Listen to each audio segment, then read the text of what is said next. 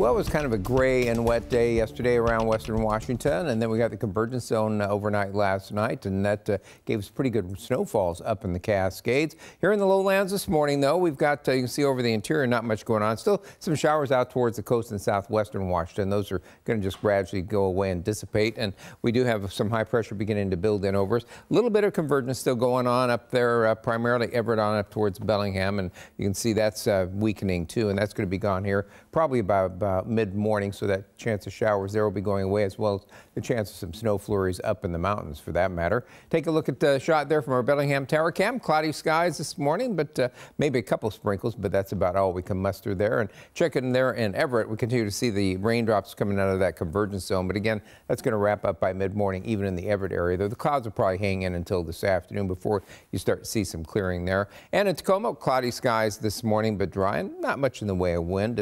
Which has good points and bad points. Not much wind also means some areas of fog scattered around that you might run into as well. Temperatures starting to show that cooling we've been talking about headed our way and mostly down into the 30s. Camano Island just a little bit warmer for some reason, maybe because it's right by the water or maybe somebody uh, turned the heater on out of the instrumentation site. So, but mostly in the uh, mid to upper 30s, a few low 30s when we get down into the South Sound.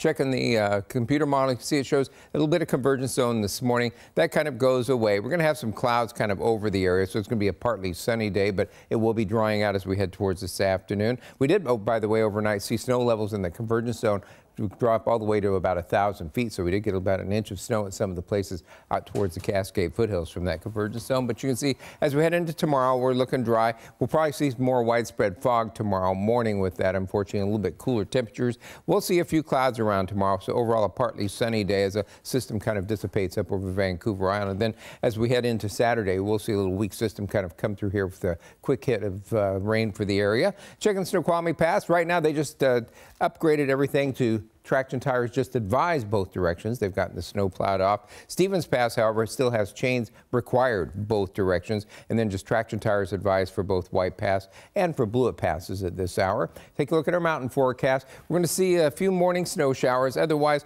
mostly cloudy. You might see a little bit of sunshine this afternoon. We're going to look for that snow between about 1,500 and 2,000 feet. And our extended forecast as we head towards tomorrow, partly sunny, a little bit of patchy fog around is all we're going to deal with. High temperatures getting into the mid to maybe upper 40s. Increasing rain midday to afternoon on Sunday. It'll go through pretty quickly, pretty much wrap up Saturday night. Partly sunny after morning fog Sunday. Another quick round of showers on Monday and then partly sunny after morning fog Tuesday. And it looks like partly to mostly sunny after morning fog all the way into the following weekend, though may have some problems with persistent fog in a few places and maybe some air stagnation difficulties later next week, but looks like a stretch of four or five dry days.